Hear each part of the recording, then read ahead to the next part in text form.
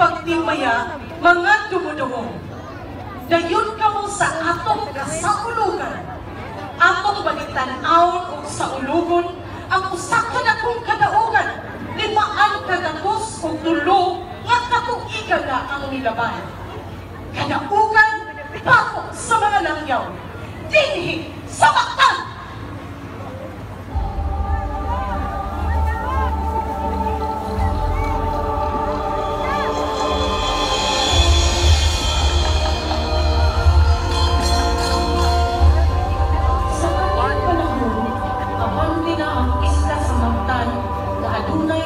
iyang mga buhian